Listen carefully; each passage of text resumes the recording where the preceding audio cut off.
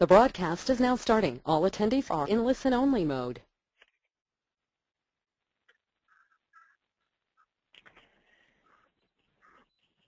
Today's session is CPOE, CDS, and Health IT Safety. Just a, a couple of housekeeping items. If you have questions for the panelists, please type your question into the question panel at the lower right of your screen. Uh, because of the number of attendees, all phone lines are muted. Um, but the uh, presenters will take questions uh, after each uh, presentation.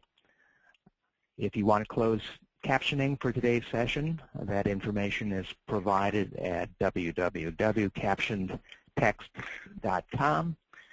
Um, the slides and audio for this session will be posted within two weeks at healthitsafety.org. Please go to that site if you have any questions about the webinar series.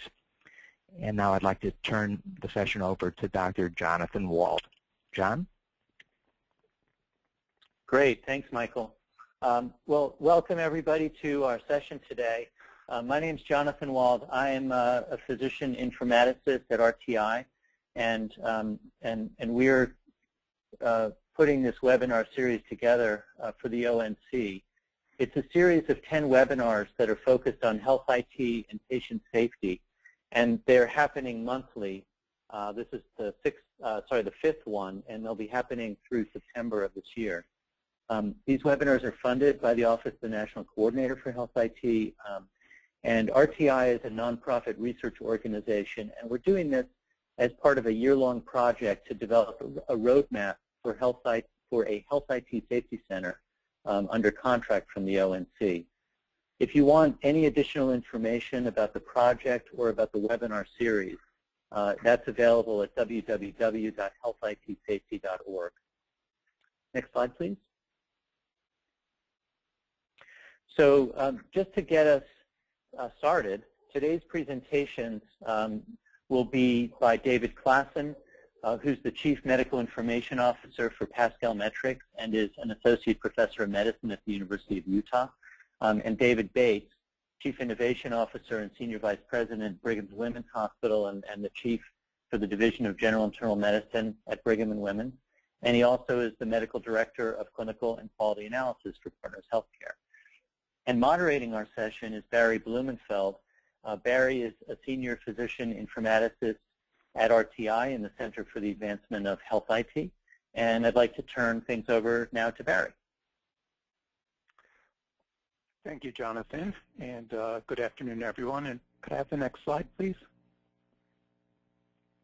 Uh, want to thank you for dialing in today. I guess I wish you either a good afternoon or a good morning, depending on where you're dialing in from. Um, our first speaker today is going to be Dr. Classen. Uh, just to tell you a little bit about Dr. Classen, he is an associate professor of medicine at the University of Utah and conducts patient safety research at the University of Utah School of Medicine. Dr. Classen was a co-developer of the Institute for Healthcare Improvement's global trigger tool.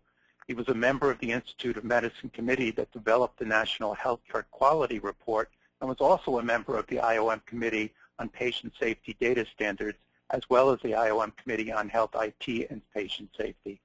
Dr. Classen is an advisor to the Leapfrog Group and has developed and implemented the CPOE EMR flight simulator for the Leapfrog Group and National Quality Forum, which has been funded and overseen by the AHRQ.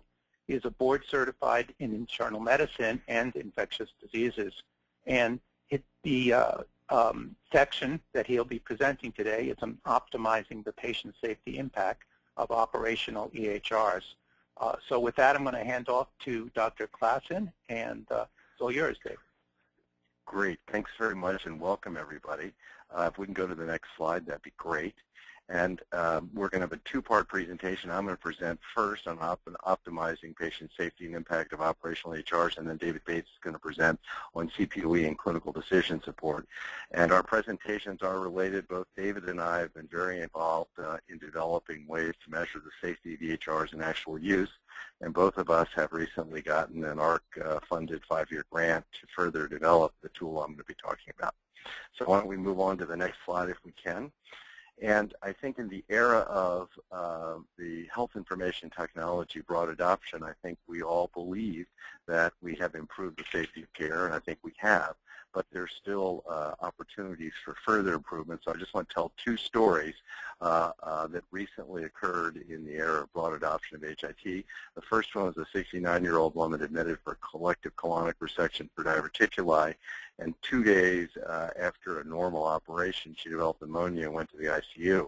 On the second day in the ICU, she suffered a very prolonged period of unrecognized hypotension, was ultimately found to be septic, and then died on review of the case, it turned out that uh, her bedside monitor EHR interface had malfunctioned and uh, her blood pressure had been normal in the EHR.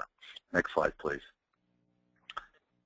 Uh, another case, a very tragic case of a 27-year-old woman admitted to the ER with severe lower abdominal pain in the hospital. was fully electronic, both inpatient and out with an EMR. Um, and she was evaluated and felt to have an acute abdomen. And they reviewed all of her EHR records um, and she was taken to a surgery. At surgery, she found to be pregnant, and the fetus did not survive. On review of the case, uh, turned out to be a problem with interoperability in the sense that another patient's lower abdominal ultrasound report had been inadvertently inserted to her record and had been used by her doctors to exclude the uh, uh, uh diagnosis of pregnancy for her symptoms. Very tragic cases. If we can go on to the next slide. Um, much of which uh, are summarized in a report we put out um, from the Institute of Medicine on health IT and patient safety that evaluated where we are in safety and what the opportunity to further leverage IT would be to improve uh, the safety of care we deliver. And one of the key parts of that uh, IOM report was to update us since To Err Is Human in 1999. Where are we with respect to safety? Are we getting safer? Are we less safe than uh, To Err Is Human was suggested we might have 98,000 deaths a year. Next slide. And in that report, we uh, basically identified a number of studies that suggested that we're not far to the right here on this curve where we might think we are based on Joint Commission Sentinel event reports suggest that we're a pretty ultra-safe industry. We're probably far to the left here uh, based on work from the uh, Institute for Healthcare Improvement Global Trigger Tool, which suggests that we may have harm in almost half the patients that we admit to the hospital. Next slide, please. And indeed, uh, one of the studies we cited uh, in this IOM report on where we are in safety was one done in the Medicare population by the Office of Inspector General. Next slide. And that study looked at um, uh, about 780 uh, discharges from October 2008 in the Medicare population and applied uh, the IHI Global Trigger Tool approach to detect harm and found, next slide please, found that about 27% of the patients, Medicare patients uh, reviewed, developed adverse events during their hospitalization. And as you can see, only a small fraction of them were Medicare hospital-acquired events, and an even smaller fraction were reportable events. Next slide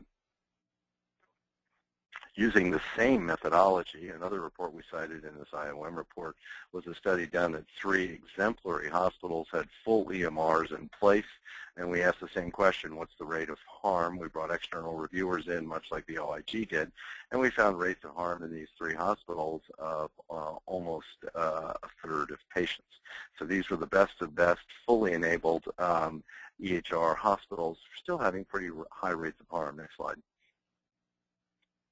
And unfortunately, um, those rates of harm, as you can see here, a total of uh, uh, 354 events were found through the IHI Global Trigger Tool. Only 35 were found through the AHRQ Patient Safety Indicators, which are part of CMS's new measure for the HAC program, and only four were found by volunteer reporting. So a whole lot of harm going on even in EHR-enabled hospitals, and most of it being missed by our current detection approaches. Next slide. So uh, that led us uh, at this IOM committee to make a number of recommendations to say that we really do need to get a better job of leveraging health IT to improve our measurement and our improvement of safety. Next slide. And one of the recommendations we made is that AHRQ should fund the development of new measures for measuring the impact of health IT on safety using data from EHRs. So why aren't we leveraging EHRs to actually measure safety? That was one of our major recommendations. Next slide. The other recommendation had to do with more effectively using health IT to prevent safety problems um, uh, rather than just measuring it. And David's going to talk much about this article, so let's skip to the next slide. And clearly there's evidence, as David will say, that, that, um, that HIT can actually worsen safety. Next slide. One of the things we focused on our IOM report was the other side of the coin, which is, are we doing enough with health IT to prevent safety problems? And here was a study that came from a hospital that was completely computerized from CPOE all the way to barcoding and pharmacy dispensing and still had a very high rate of adverse uh, drug events, which uh, CPOE and all of the computerization should have stopped. Next slide.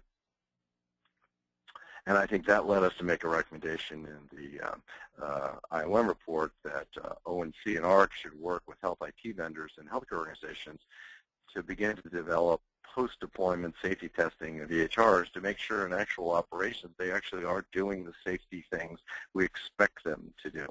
And uh, next slide. And we view this as a shared responsibility. Um, uh, much like in the aviation industry when the safe operation, safe flying is dependent on both um, Boeing producing a safe plane and United Airlines flying it safely, we think that's the approach that should go on in healthcare as well. Next slide. And one of the best examples of that is the SAFER guide that has been recently produced by the Office of the National Coordinator. Next slide. And they cover many aspects of back up, yeah, they cover many aspects of how we can improve the uh, uh, safety of our care with our EHR systems. Uh, one of the guides is on computerized order entry, and it strongly suggests that organizations do post-deployment testing of their operational EHRs for safety. Next slide. And it turns out this is already uh, included in an NQF endorsed safe practice around computerized physician order entry. Next slide. And that safe practice says not only should hospitals do certain things when they implement CPOE, but they should also test it um, on an ongoing basis with a tool that David and I both developed about 10 years ago uh, and have just gotten funding to enhance, uh, currently administered by Leapfrog. Next slide. We call this tool the AHRQ EHR Flight Simulator, and it basically simulates uh, the operational safety performance of EHRs in, uh, in actual use. Next slide. And uh, this particular tool was developed about 10 years ago, and it focused on targeting the harm. We focused on actual adverse events that could be prevented, not just errors. We focused on encouraging quality improvement. Um, next slide. And David published a paper where he studied the ability of this tool to predict actual rates of harm in hospitals and found a correlation between actual rates of harm in hospitals and how the hospitals performed on this test. So I, uh, it's a wonderful study that validates the test as predicting what uh, your rates of harm will be. And uh, next slide. And uh, what it reflected is the fact that when we built the test, we built it to focus on harm, not error. So we were really interested in focusing on things yeah, that the EHR could do which prevent actual harm to patients. We were fortunate enough to have multiple databases where people had linked harm to patients all the way back to the order in the EMR. And so based on that, we're able to build a test that actually evaluates operational EMRs for their ability to prevent safety problems. Next slide. And this is a web-enabled uh, test. Last year, more than 1,000 hospitals in the United States took it. Next slide. And this is simply the way it works. We use simulated cases um, that are entered into an operational EHR, uh, and each of these simulated cases has some serious problem. We, we look to see if the EHR actually picks it up. So in this case, it would be a patient who's 52 years old, weighs 60 kilograms, allergic to morphine, has a normal creatinine, and we ask an order to be placed on that patient for Coumadin 5 milligrams three times a day. Clearly an overdose, and we look to see whether the uh, operational EHR system picks this up.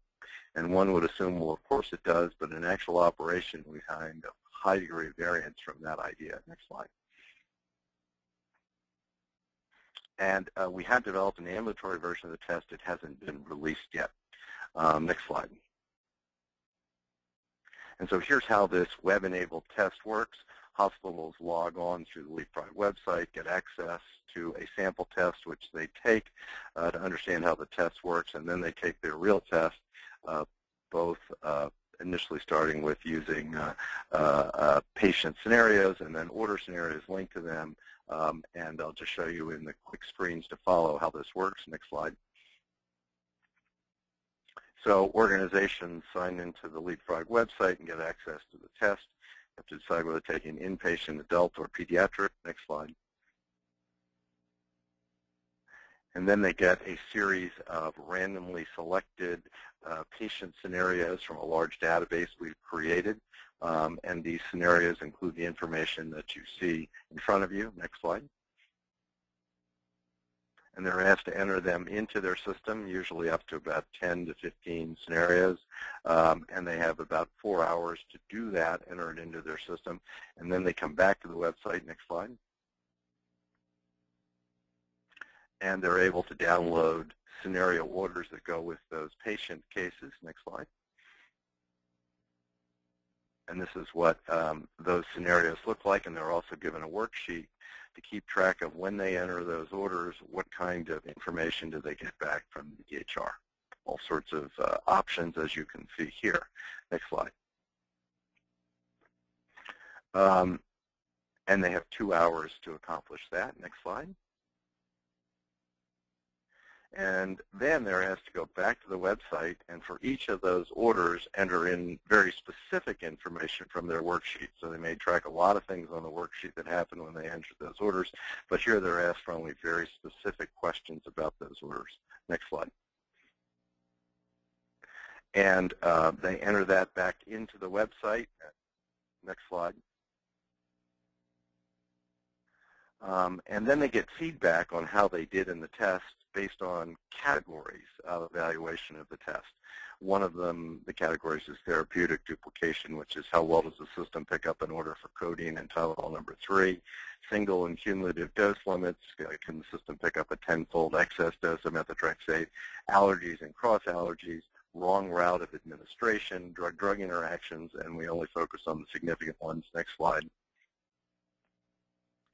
and dose limits based on a patient's diagnosis. So are uh, we uh, reminding a doctor not to order, uh, for instance, a beta blocker in a patient with asthma, uh, or are we reminding a, um, a physician not to order um, a uh, drug that might be toxic to a fetus and a woman is pregnant?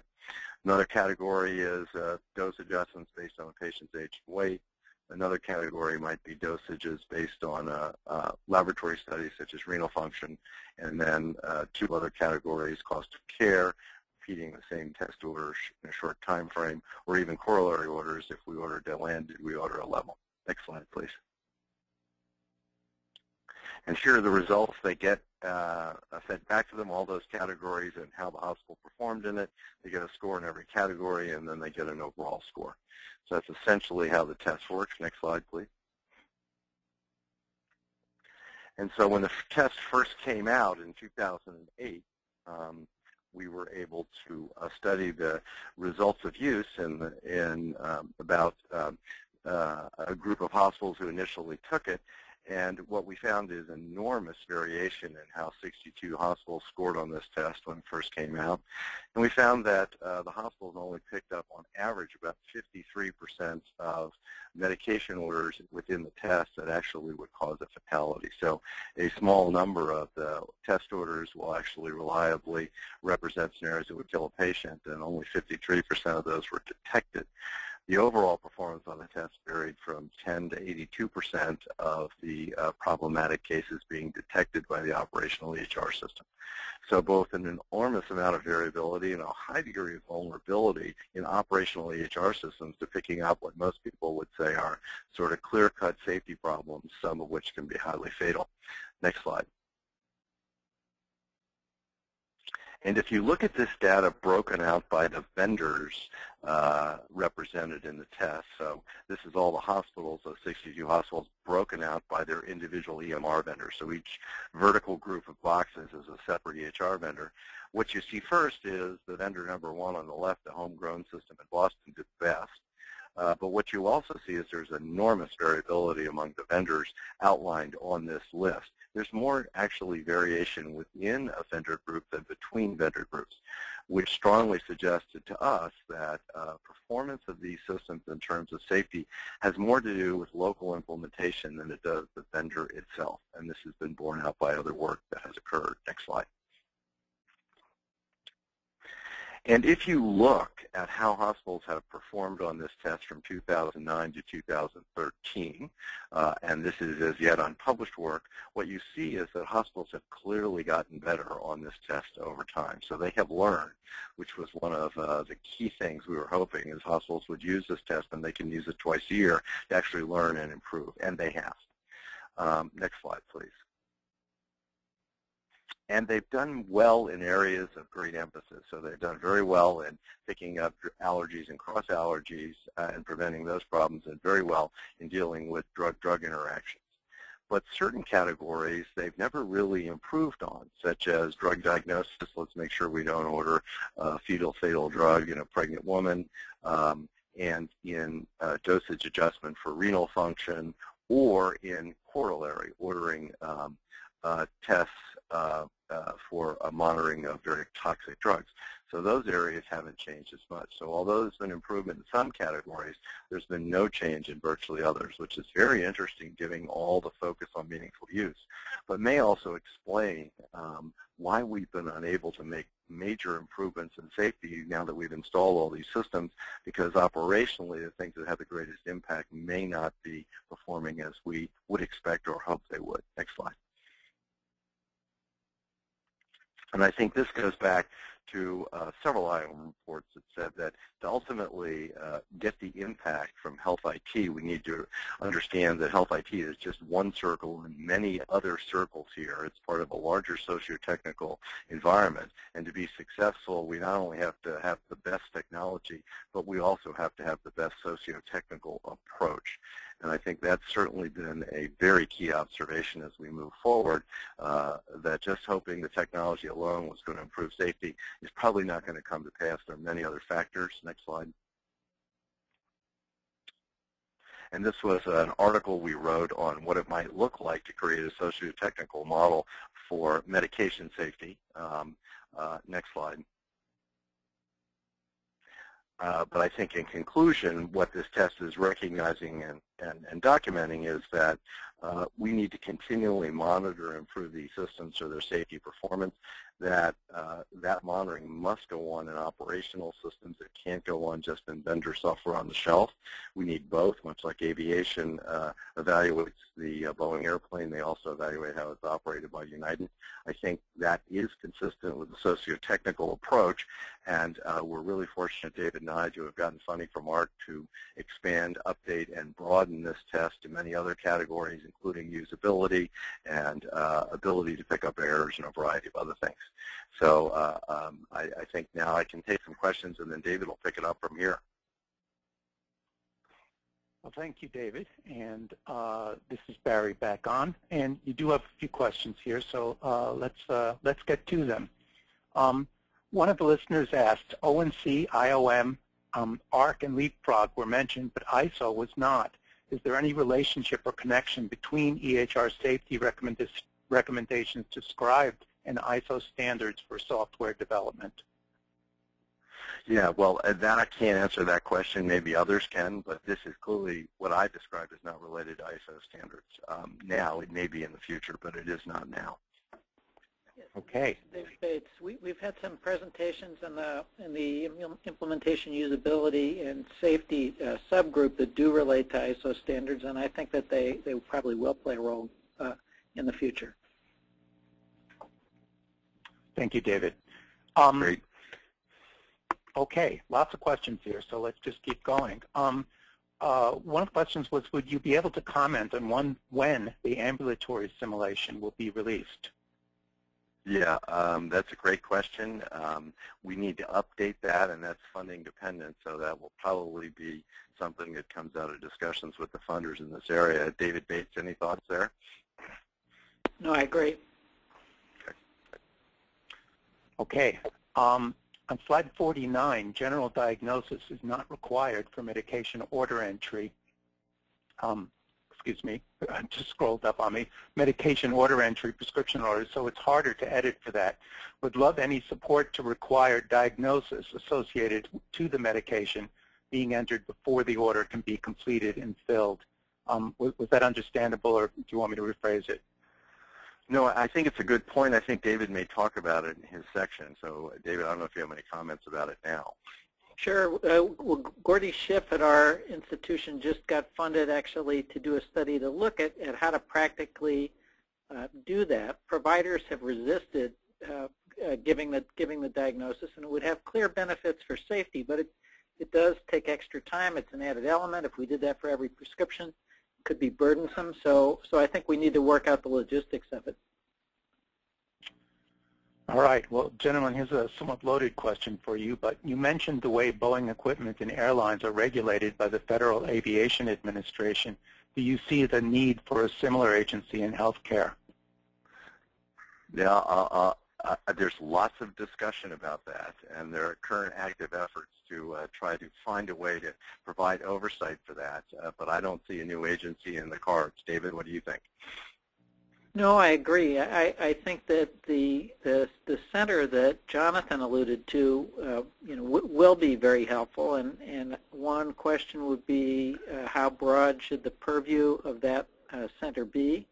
Um, we, we do have uh, large numbers of patients who are injured annually as a result of uh, health care that, that we deliver. Um, health IT is a small uh, fraction uh, of that.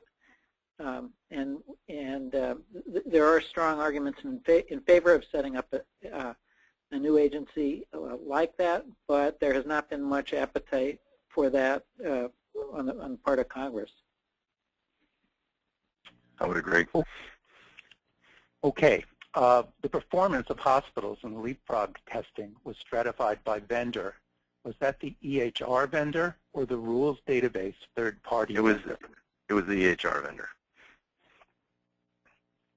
But that, yeah, that that question. I mean, what's really relevant here is is who you're using for your under, under underlying uh, uh, rules database, and so so that's another layer around this.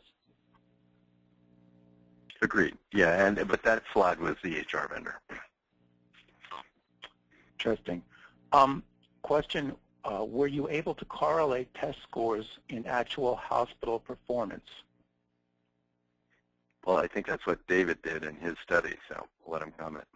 You, you know, that, that's accurate. The study that we did showed that performing better was associated with, with, uh, with um, better medication safety. David, you're not going to have anything left to talk about when we get to your presentation. No, I, uh, there, there are a few more things I, I have to say. Good. Um, okay, keeping with the questions here, how do you balance the urgency of hitting dates and safety? Uh, I'm going to try to understand the question. Yeah, I think I think it's uh, meant uh, how do you balance the urgency of hitting dates for implementation uh, versus the uh, need for safety? Yeah, I, I think David's going to talk about that in his talk. Well, that, yeah, so I, I think that's a, an interesting question. Um, there are, we're in the midst of a very large implementation right now, and there would be huge cost to us if we did not uh, hit the implementation dates.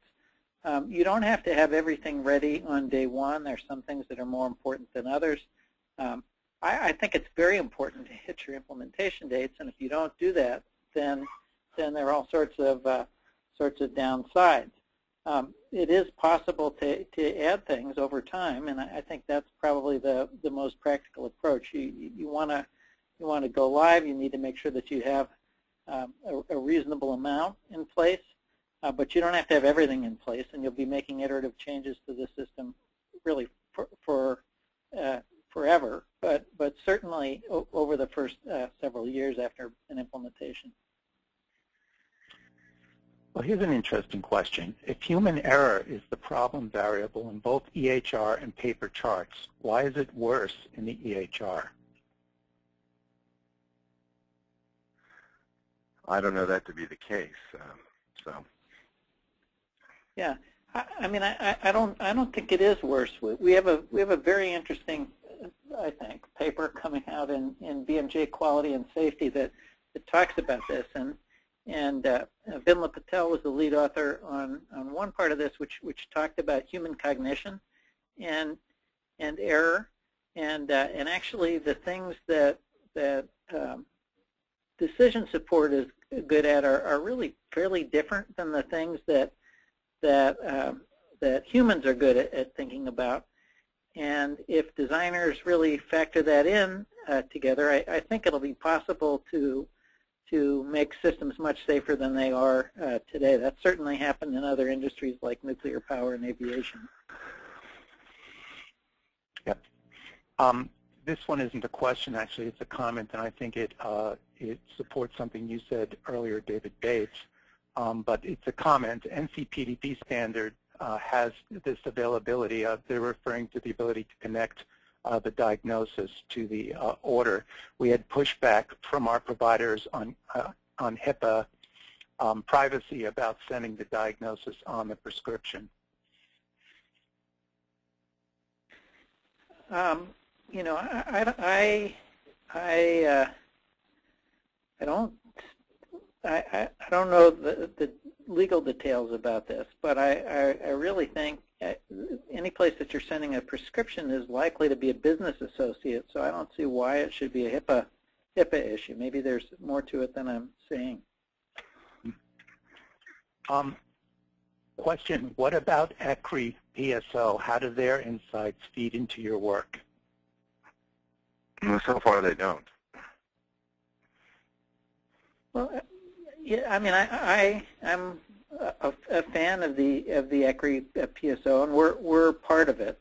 And I do think that that uh, um, efforts like that will be useful in identifying the the safety issues that that are present. Uh, you know, really across a broad range of institutions and vendors. It's been hard to share safety issues, and uh, and that's what this uh, PSO is is uh, is focused on. So that, that's one effort to do that. Uh, another effort is exploring ways that we might jointly publish with ECRI on uh, hospitals who've taken the test and reported safety problems. So that's another area that we've explored, which might be a promising one. Okay, we have a question. We have providers who ignore the alerts. How do you balance giving information and the, pro uh, the provider paying attention? Yeah, I think David's going to talk about that. I, I will. Uh, that's that's a great question. It's one of the fundamental questions today in informatics and around clinical decision support. I think it's incumbent on institutions to try and do a good job of reducing the number of of uh, of uh, not of unuse, unhelpful or unuseful alerts. And if you do that, um, uh, you can then ask providers to pay attention to the really important ones. We also need to do some things like make the, important, the, the truly important ones look different to providers than the unimportant ones. Um, so, so that's actually a lot of the work of the next uh, five years or so. And I'll, I'll show you some data that suggests that it's possible to, to do uh, pretty well with that, much better than most organizations are doing today. So, so maybe we should move on to David's talk since we're getting into it with all the questions. Yeah, we are, and um, I think I'm going to uh, cut off the questions here. I do have just one other comment that I'd like to read from uh, one of the presenters. Um, it states, uh, just an FYI for the presenters, AMA has a policy against including diagnosis on a prescription. It stems from 1993 and likely was born out of privacy concerns administrative burden on the doctor, in my, and in my opinion, concerns about off-label use. I am active in NCPDP, and Gordy has been part of our discussions. Happy to help in any way I can. Uh, this comes from one of the listeners. Uh, I'll, I'll, give her name, in this case, Laura Toper. That, that's helpful. Thank you. Yep. Um, All right. I'm, I'm still waiting for my com computer to wake up here. We went to sleep while we were uh, talking. So maybe we could take one more question.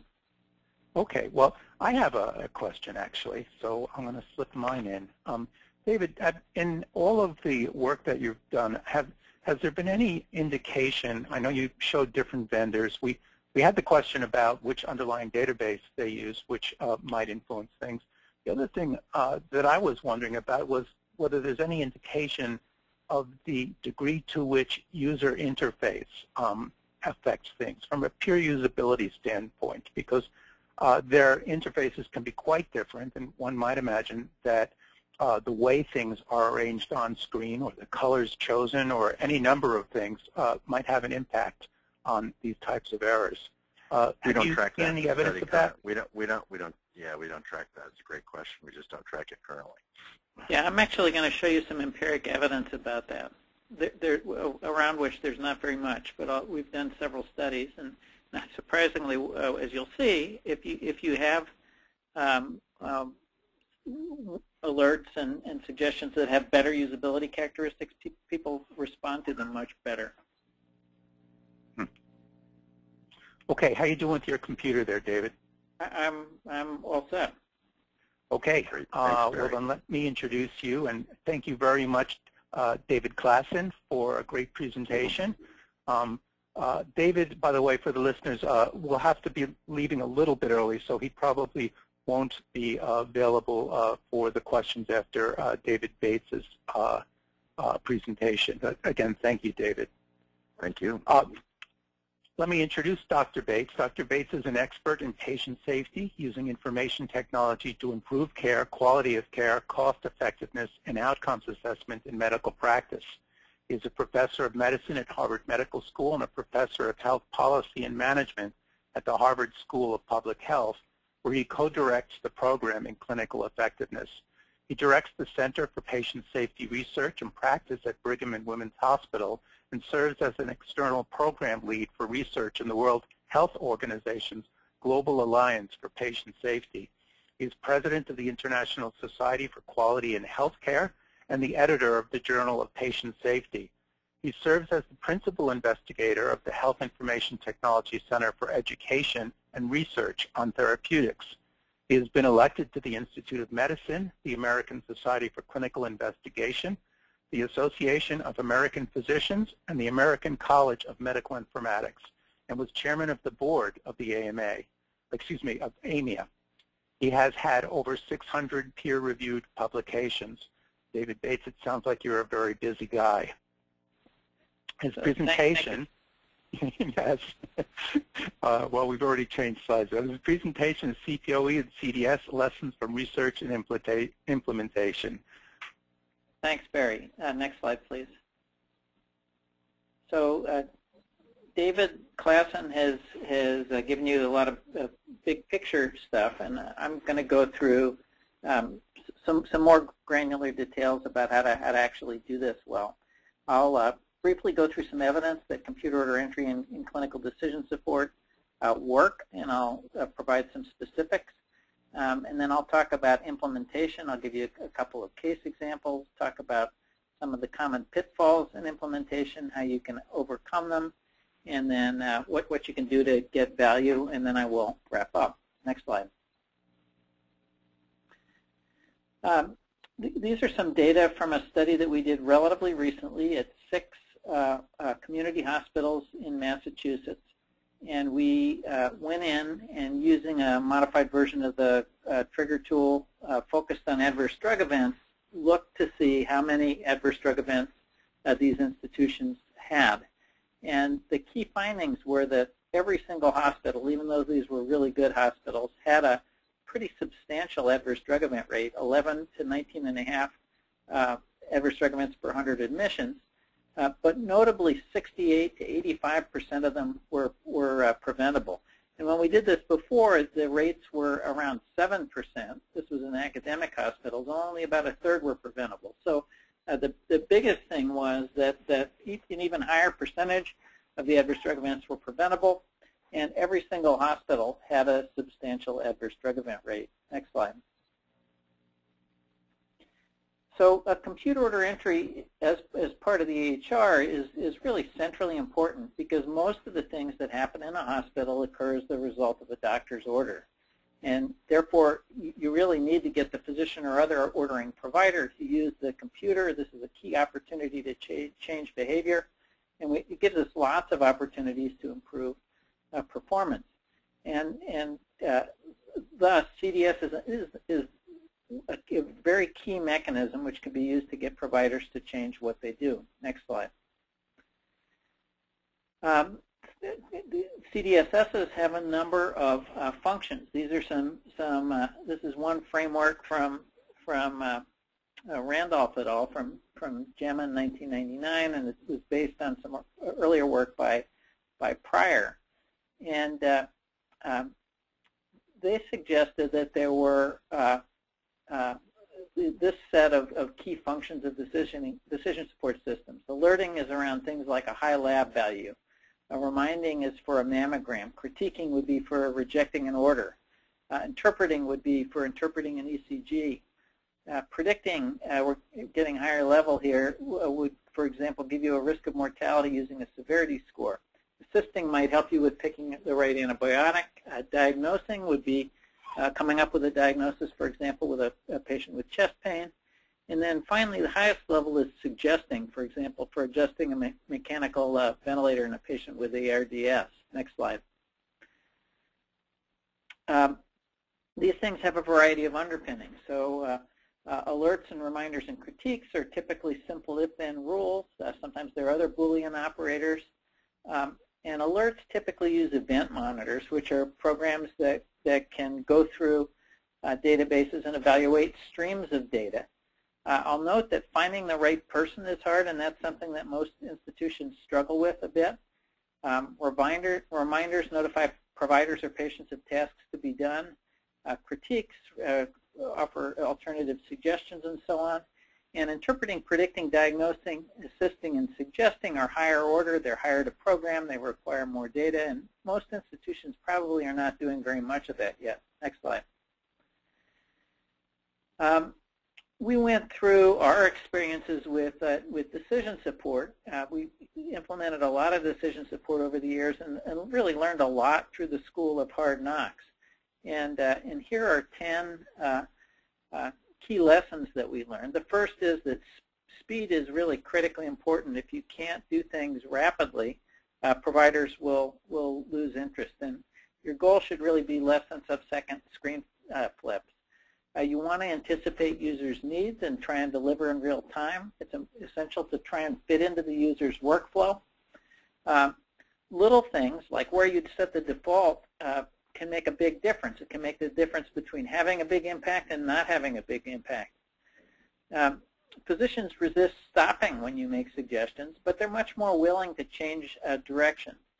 Uh, simple interventions typically work best. Uh, a, a rule around uh, giving a patient uh, an aspirin if they've had a, a, myocardial infarction is pretty likely to work. If you try to set up a, a set of rules around patients with congestive heart failure, that's a much taller order. Uh, you can ask people for information, but you should do that very, very selectively, and you want to make sure you really need it and don't have it someplace else. There's nothing that makes providers madder than to having to enter something that that they know has already been entered someplace else. It's really important to monitor how you're doing, uh, get feedback, and then respond to it. And if you look at many of the institutions that have not done so well with this, it's because they have not had good approaches for monitoring uh, what their decision support is doing. And then finally, knowledge-based systems have to be managed and maintained. So you need to know what rules you have in place, when they were implemented, when they were last reviewed, and you need to uh, make sure that you keep up with the latest evidence because things are always changing. Next slide. Um, here are some examples of, uh, of studies that we did that, that showed improvement. One was the NEPHROS study, which looked at the effect of delivering real-time decision support for patients with renal insufficiency. And uh, the way that we did this was uh, notable. Um, the patient knows the patient's, the, sorry, the, the computer knows the patient's age, their gender, their, their uh, race, and uh, um, it can then uh, do a calculation of uh, what their glomerular filtration rate is. And um, at baseline, 42% uh, of our patients had some degree of renal insufficiency, which is much higher than we expected going in. uh, we found that uh, in, in, the base case, people you only pick the right dose and frequency 54 and 35% of the time. Uh, after providing suggestions, that went up to 67 and 59%, and patients stayed in the hospital uh, half a day less after doing that. Now, David showed you some data suggesting that hospitals haven't done very well in this area.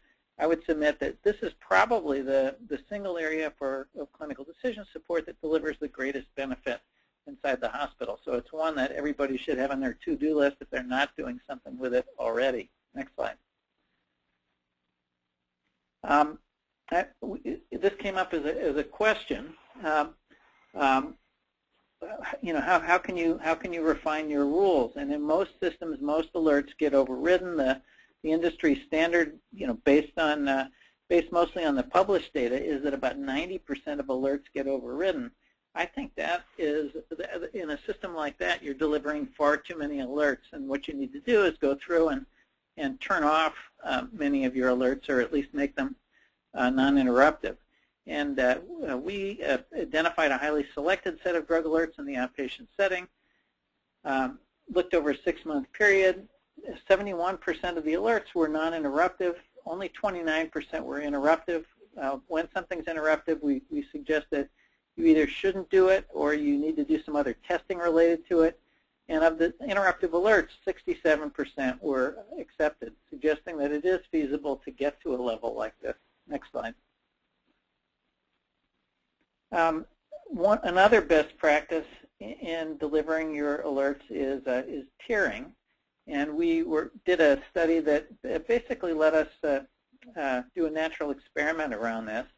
We studied two academic medical centers. They were using the same knowledge base. Uh, Site A used three tiers, and Site B had all the alerts as uh, interrupted. And the three tiers were, one, you, you, you can't pass. It was a hard stop. Uh, tier two was um, you, you, needed to, uh, to, you should either consider doing, do, doing something different or you should, uh, for example, order some monitoring. And the third tier was information only. Site B had all the alerts set as interruptive, and uh, we used exactly the same knowledge base in the two uh, centers. And what we found was interesting. Um, at the uh, at the tiered site, 100% of the time, uh, providers paid attention to the warnings, but they only paid attention 34% of the time at the non-tiered site. So that means that 66% of the time they were running the stop signs. And notably, the overall alert acceptance was much higher at the tiered site at 29% versus 10%. I would argue you should still be doing better than uh, than 29%, but that's higher than than most organizations are, do, are, are, are, able to achieve today. Next slide. Uh, another issue is which which alerts to display. Um, uh, and I, I, would suggest you should be interrupting with only the most important uh, warnings, and you should tier. Uh, the jury's still out regarding whether it's even useful to display non-interruptive warnings. Uh, you should have regular review of the alerts. You should track how pro providers are responding to them as practices change. And, uh, and we argued in a, paper in Health Affairs in 2011 that sharing around this would help. This would be a common good uh, it's really doesn't differ very much from institution to institution. The sharing could even be in, international because uh, for many of these things, really, uh, things are, are pretty similar across uh, international boundaries. Next slide. Um, now we're, we're getting into the, uh, the uh, Barry's question, which is the human factors issue. Um, we published some work around this. It was led by Shobha Phansalkar. And um, in, in, this paper, we made some recommendations about how you should uh, how you should uh, uh, alarm based on human factors principles. Um, the things that we suggested were that you need uniform alerting mechanisms and standardized alarm responses. Uh, alarm philosophies should minimize false alerts, as that was suggested by another question. Uh, placement of the alerts does impact the likelihood that users will see the alert. So visibility is critical, the font size has to be large enough to be readily, readily legible, and all the visual alerts should be prioritized. Next slide. Um, in addition, color should be used to help cue the user about the level of a specific alert, and the numbers of colors that are used should be minimized. If you use too many colors, people won't be able to follow what they mean. Uh, to make the visual alerts more distinct, it's important to minimize the number of visual features that are shared between alerts. And the text-based information should be succinct. You can have a link out to more detailed information. Providers really like that and find it useful. But uh, the, what you show on the initial screen should really be brief. Next slide. Uh, we then looked uh, empirically to see uh, how does use of some of these human factors principles affect alert acceptance. And this is the, the data that I mentioned about various uh, questions. Uh, we looked at 51,000 drug-drug interaction alerts, both inpatient and outpatient. Providers paid very little attention to the non-interruptive alerts. They accepted only 1.4% of those. For the interruptive alerts, user acceptance was positively correlated with how often the alerts were displayed the quality of the display very strongly associated with the quality of display, uh, with the alert level, which you would hope they would be. Next slide. Uh, alert acceptance was also higher for inpatients who probably tend to be a little sicker and for drugs with dose-dependent toxicity. Furthermore, the textual information did influence the reaction and providers were more likely to modify the prescription if the message contained detailed advice on how to manage the drug-drug interaction. So people are looking for for very specifically what should I do? Should I, um, you know, decrease the frequency of the Coumadin dosage? When should I check the INR again? That kind of thing. Next slide. Um, you know, an interesting philosophical question is which is more important, uh, contact, content, or, uh, or, or management of the way that you deliver the alerts. So content really relates to what is the underlying uh, knowledge base that you're using, and content is certainly more generalizable. But management probably has an even bigger impact in terms of how much people pay attention to the, your, your suggestions.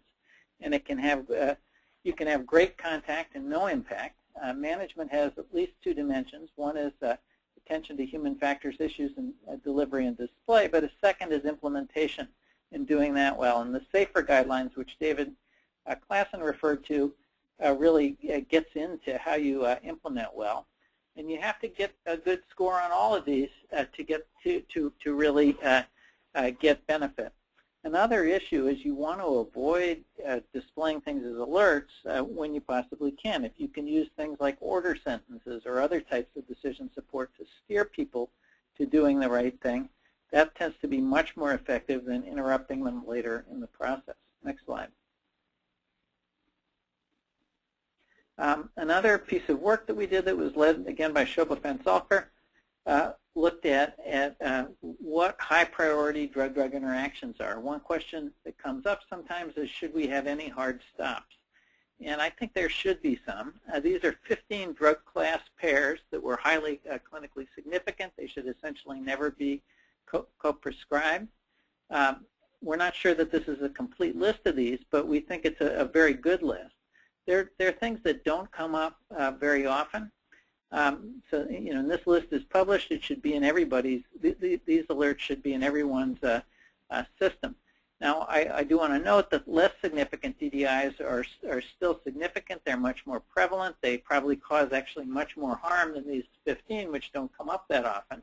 But they tend to depend on patient characteristics, drug dosages and timing, uh, concomitant, concomitant conditions like hypokalemia and so on.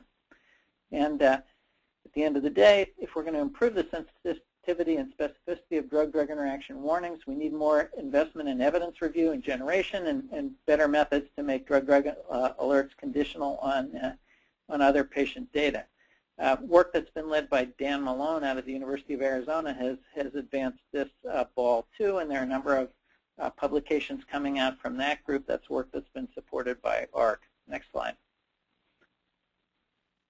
In addition to the high priority drug-drug interactions, uh, there are a number of low priority drug-drug interactions. And, and uh, again, in work that was led by Shobha, we went through and, and identified uh, a list of drug-drug interactions that are often shown, uh, but that do not warrant interruptive status. And this is, again, a, a published list. Uh, you can look these up, and you, sh you should not have uh, any of these DDIs being displayed in your system. When we looked what was being displayed in a number of, of systems, uh, many of these drug-drug interactions did show up still. Next slide.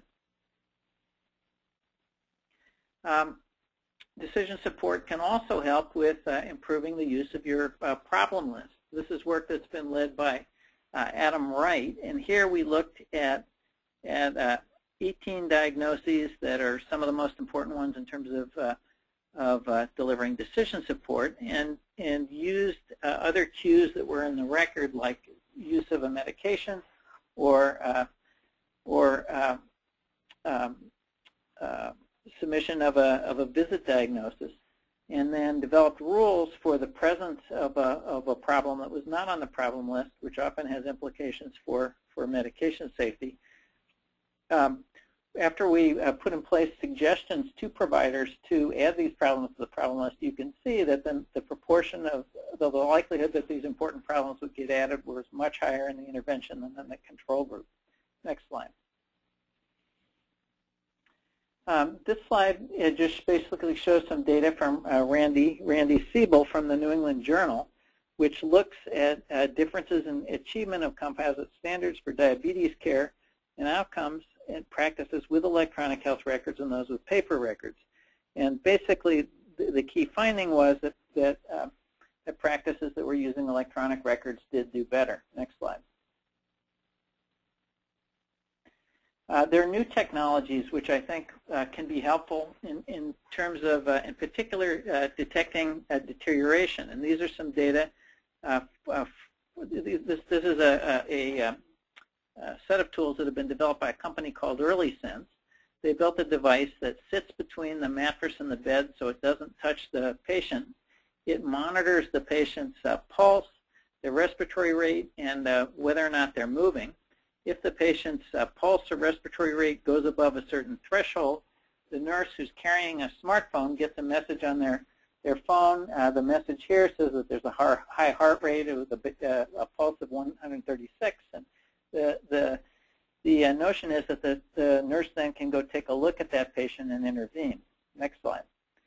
And uh, we, we studied this at, uh, at a hospital in uh, California. These uh, results come from the from the American Journal of Medicine, and, and basically found that the length of stay uh, fell in the intervention group in the intervention unit in the pre-post comparison by by around nine percent, and the LOS in the ICU for patients who are coming from med, med surg fell 45 percent. in addition, the likelihood of having a code blue event was was substantially lower, 86% lower. Next slide. Um, compute order entry can also have uh, substantial uh, financial benefits to an institution. This is a work that was led by Rainu Kaushal, was published in JAMIA in 2006. We uh, estimated what, what we had saved at the Brigham uh, as a result of compute order entry, and we estimated we'd save 28.5 million over 10 years. The net operating savings were 9.5 million. Um, more important than what the total savings were, which you know, which could change with how big you are, are, are uh, where the savings came from. And I thought this was interesting. The the biggest uh, place where where we got benefit was through renal dosing. Uh, the second leading area of savings was nursing time utilization, followed by specific drug guidance and then uh, adverse drug event prevention. Next slide. So um, uh, now I'm going to go into what can go wrong if you uh, when, when you are implementing. And this is some work that was led by Ross Koppel, uh, published in JAMA. He evaluated a commercial computer order entry application at the University of Pennsylvania and asked their users about their impressions with the system. Found many situations in which what they referred to as a leading computer order entry system facilitated medication error risks. Uh, it often took many screens to do things. Uh, providers noted that the views that they needed were uh, not, not available. Um, I apologize, my computer is just uh, turned off again. It will, it will wake up here, but it may take a minute or so.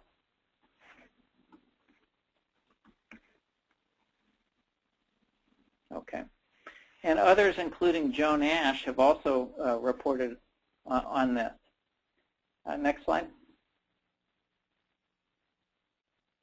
Can you hear me? Yes. David, we can hear you. Okay, good. Could I have the next slide?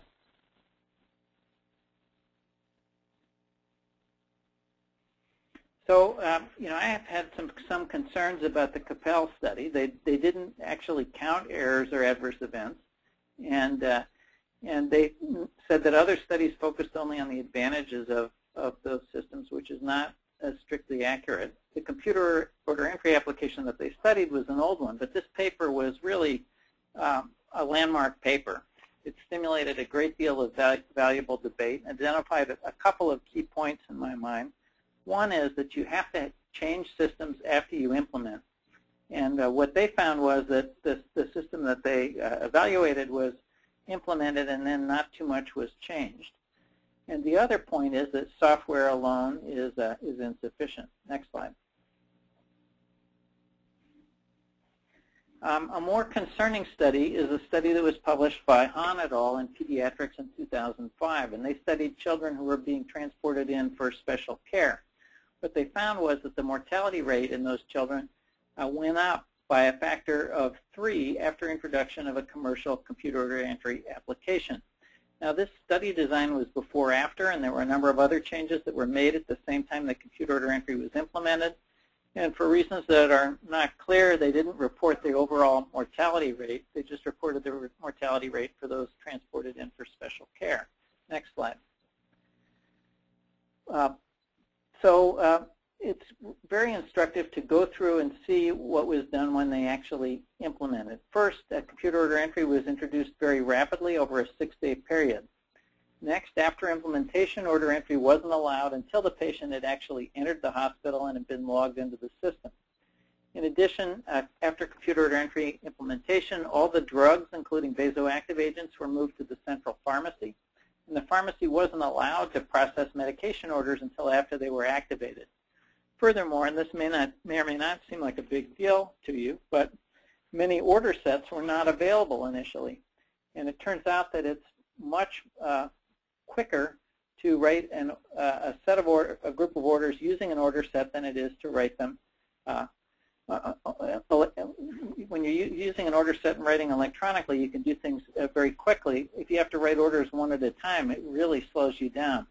And the net result here was substantial delays in care delivery. These were children who were mostly coming in either in a helicopter or in an ambulance, and they needed care very rapidly. Next slide. So at the end of the day, this study, I think, was weak methodologically, but this increase in the mortality rate was very large. It was of obvious concern. And I think uh, introducing these delays in this group probably did cause these, this, this increase. The organization broke a number of the rules for implementation, and it's essential for other organizations to handle the socio-technical aspects better. Next slide. Um, so how, how, how can you get into trouble around this? Well, you know, I'm here I'm talking about implementing a computer order entry, but this, this in particular, but this holds for many other uh, types of IT implementations. One is to not recognize how big a change this truly is. It's expensive. It's a big, huge process change. You, uh, you also can get in trouble if you don't sufficiently engage both your administrative and your clinical leadership. You have to have both those groups uh, on your side. It's also uh, easy not to get do necessary preparation with the key stakeholders. Sometimes it takes as much as two years to have all the key groups meet and and, and agree on some some of the key uh, uh, parameters. For example, around how you're going to manage things around your lab process or your blood banking uh, uh, process. Next slide. Um, could I have the next slide?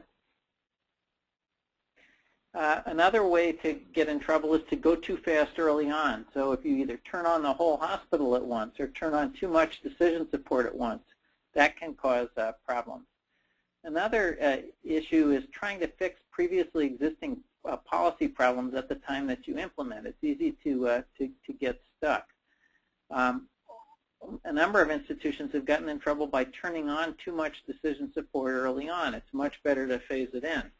Uh, the, the computer order entry issues at, at Cedars-Sinai got a lot of press, and one of the things that really drove the providers there crazy was that they decided that they were going to turn on all their drug-drug interactions at the beginning, and uh, and they uh, uh, were not going to back off from that, and the providers uh, really revolted. Next slide.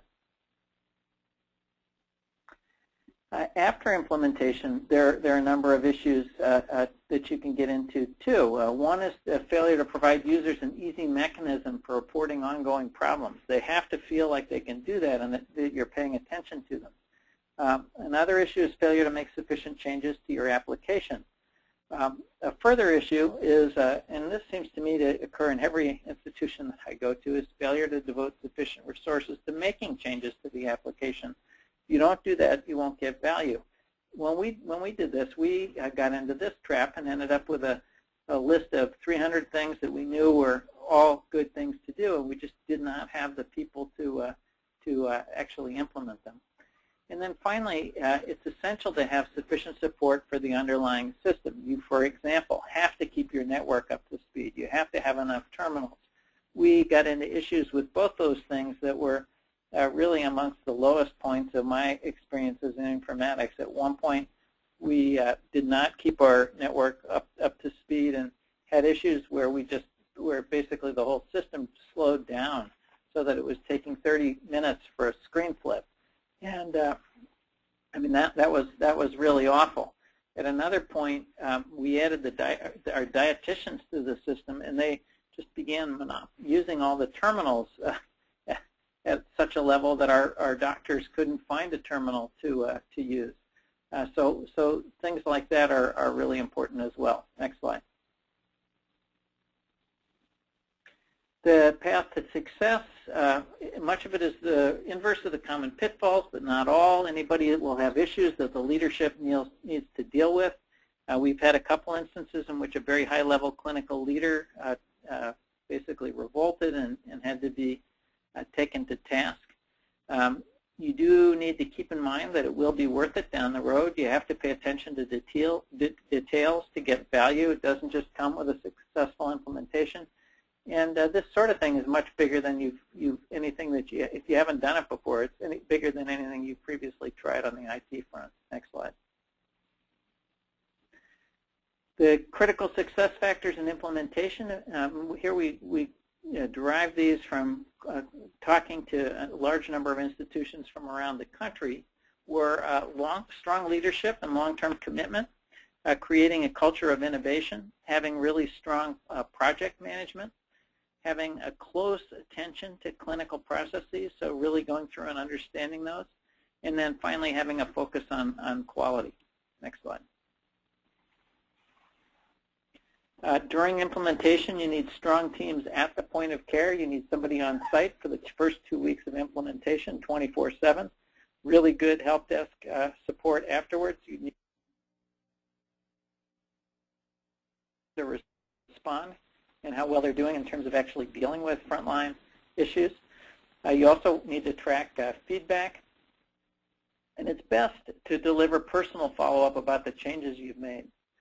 Um, uh, other organizations basically made uh, needed uh, needed changes to fit clinical issues. Uh, um, some groups turn out to need special attention, and this tends to be worse in the most highly stressed groups. We had one uh, service in which the average census for one of the residents was 70 patients, and that individual just needed some help to be able to get through the day.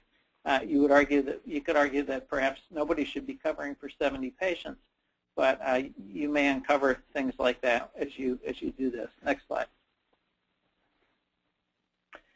Um, uh, around leadership, th this again comes from a, a, a large survey of, of, uh, of, organizations around the country that we talked to.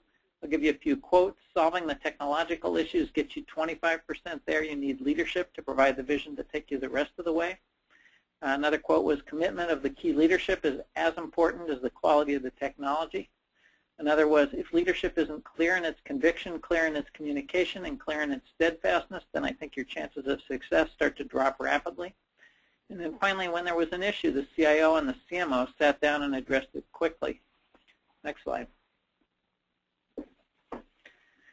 Another quote which I especially like is when there were bumps and bruises along the way, which there always are, and some people questioned whether they should be doing this, they'd get a friendly call from the CEO saying, this is the direction we're going in, and everyone's going to march in this direction.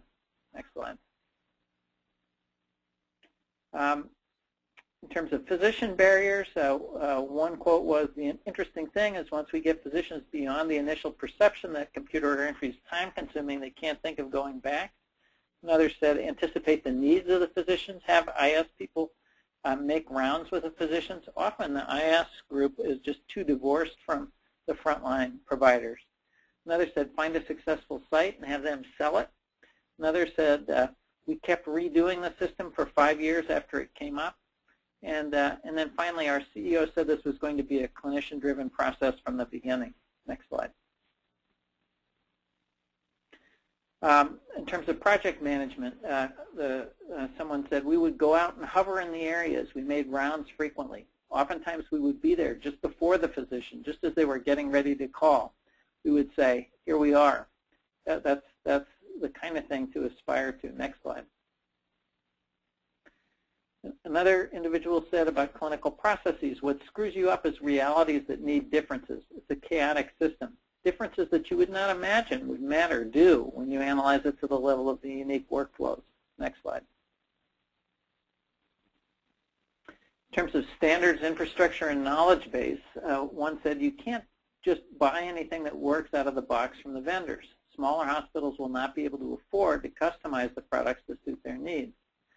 Another said if there's a realistic non-vendor-based assessment of the CPOE technology and where it will be in two to three years, then I as a leader could leverage my political capital with some reassurance that there's going to be some flesh on the bones. And the third said it will be helpful if hospitals interested in CPOE can share the contract or RFP so that nobody has to reinvent the wheel when they deal with the vendors. Next slide. Uh, critical success factors, one said, I'm not sure any of us know exactly how we've succeeded. A lot of it has been so evolutionary and we've been at it year after year. Next slide. And in terms of remaining barriers, uh, staff, money, money, staff, I don't think it's physician acceptance, which it used to be. I think that something terrible has happened. Uh, we've been successful. I think that physicians can just take more of this than we ever have the capability of delivering. Next slide. So what does it take to get uh, benefits? Well, you have to have a successful implementation. You have to decide on a core of decision support, and that implies having good organizational structures that enable groups to reach consensus. Uh, we use a great deal of, uh, of virtual uh, uh, uh, support around this and use eRoom, for example, quite a bit. Um, you will have to make many changes. You need an architecture that enables you to be agile. You need sufficient resources to keep up. Uh, the rule is to have a long queue of things. Uh, and you want to start low and go slow, like with exercise, but you need to end up with enough. Next slide. So uh, to, to, wrap up, uh, leadership is key in, I, in all change. Uh, I would say it's probably even more true in this area than, uh, than in many others. the socio-technical is that some of those quotes suggested is harder than the technical. Uh, you have lots of decisions when implementing decision support. Uh, the degree of benefit is directly proportional to how much decision support you include, but you really don't want to overdo it at the beginning. As David underscored, you, it's really important to test post-implementation. Um, I think we'll want to make many decisions in the future uh, we'll need to make many decisions in the future about uh, autonomy, uh, provider autonomy, that, and, and how much to give them, and that, that will relate to how much improvement we get with respect to quality and safety. And then finally, you have to track post-implementation, systematically fix your problems, especially those newly created. Inevitably, with implementation of any new system like this, you do uh, create new, new problems. Next slide.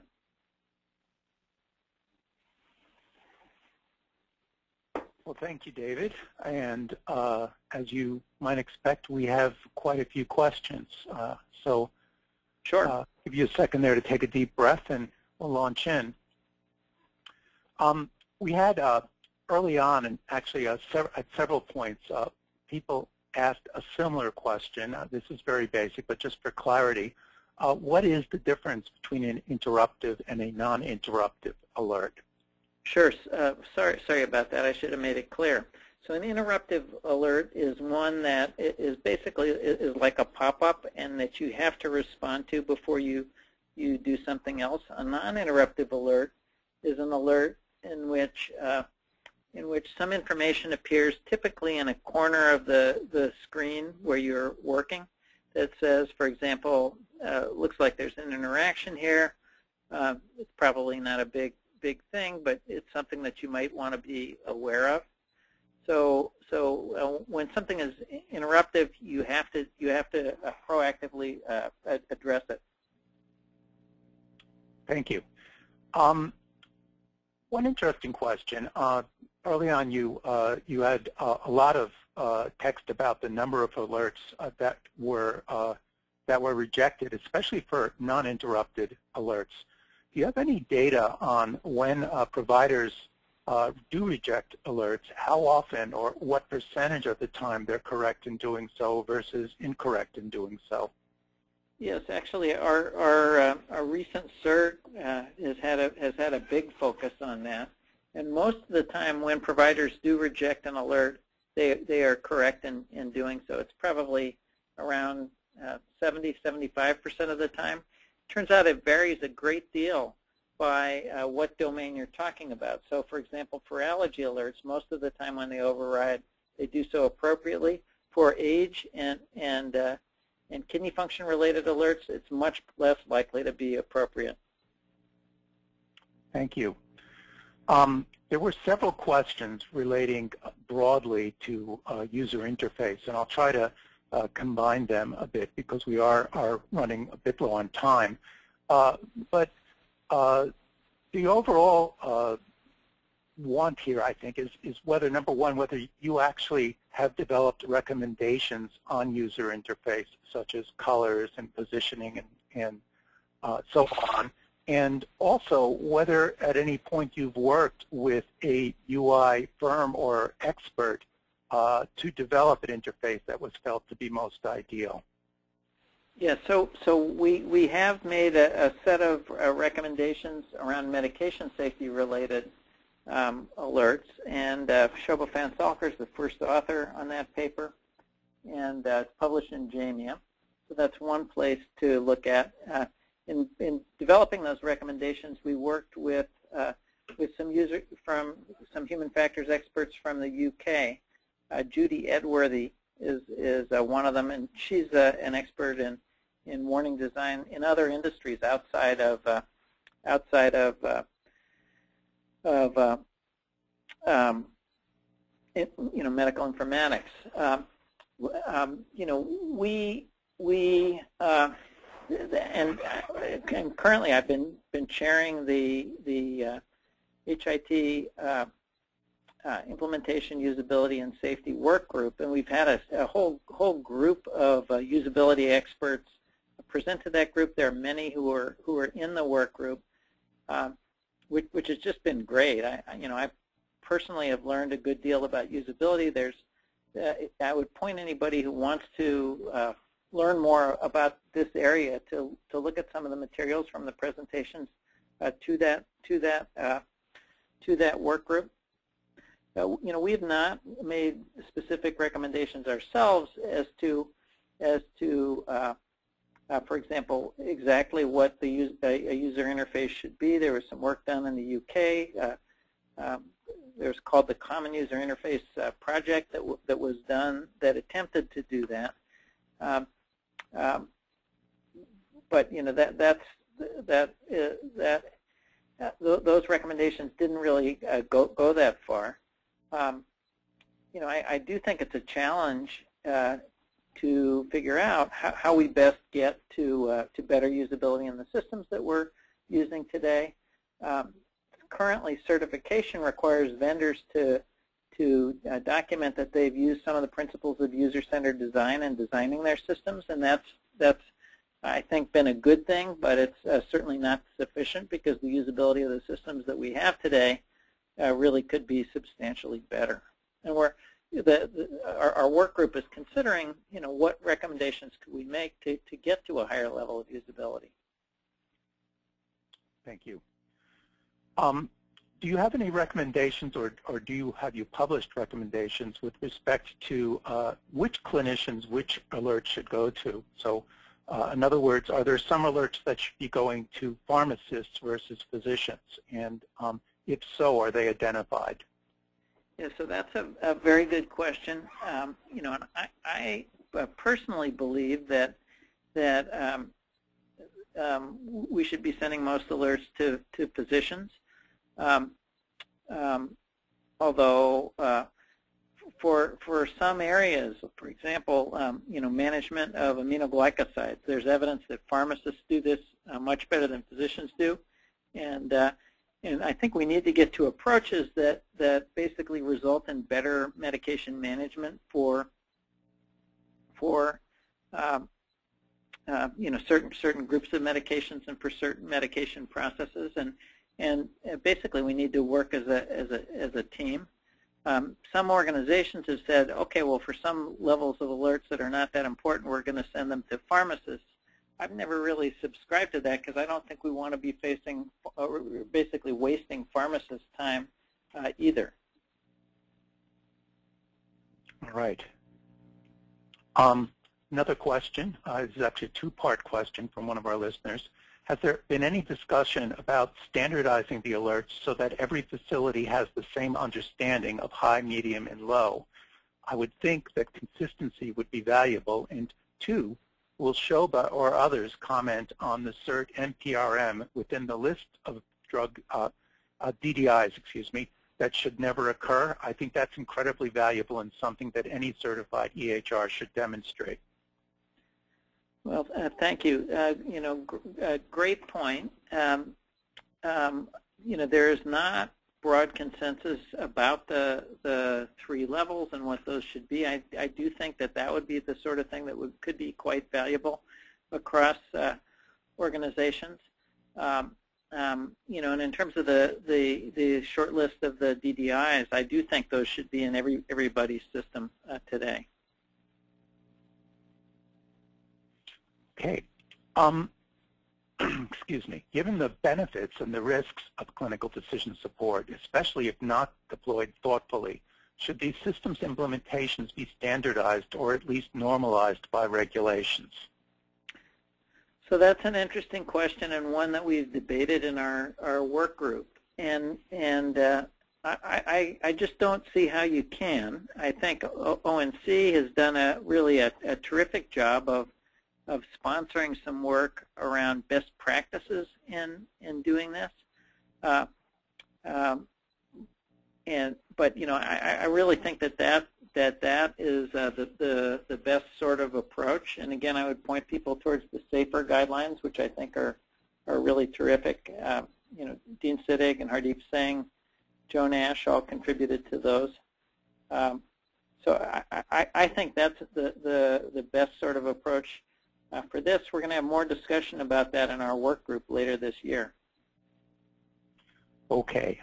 Well, thank you very much, uh, David. Those, those were uh, it was a great presentation and great answers. Um, I think that we'll wrap it up here with the questions.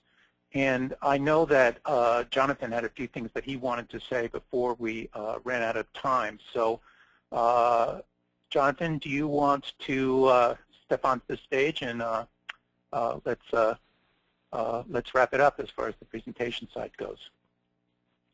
Great, thanks, Barry. this is Jonathan Wald again from RTI, and first I just want to thank the presenters very much for really great presentations and conversation, and thank Barry Blumenfeld for moderating.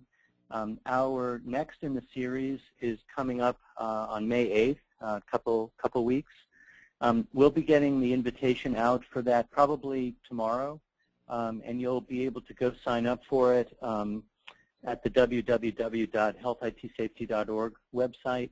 Um, for anybody who registered and said they wanted to hear about future webinars, we'll also be sending an email out um, on that as well. And that'll be focused on the area of um, errors in diagnosis and how health IT can improve safety around the process for making a diagnosis or for picking up a miss um, sometimes when uh, there are, there's diagnostic uncertainty. So uh, would like to thank everybody and um, wish you all a good uh, rest of your day. Um, we'll talk to you again soon. Bye-bye.